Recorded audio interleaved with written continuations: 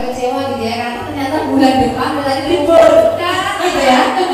Libur untuk bulan depan eh, tepatnya di bulan April libur dulu untuk Ya.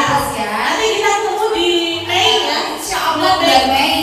Tetap 2015 dan di hari Jumat minggu yang pertama.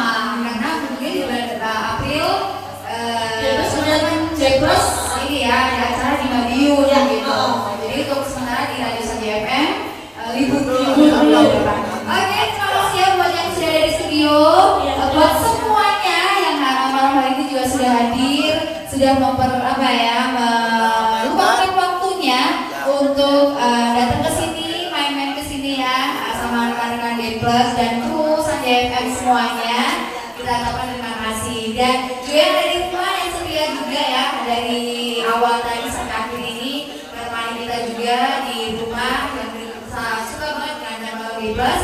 Kita saya Dewi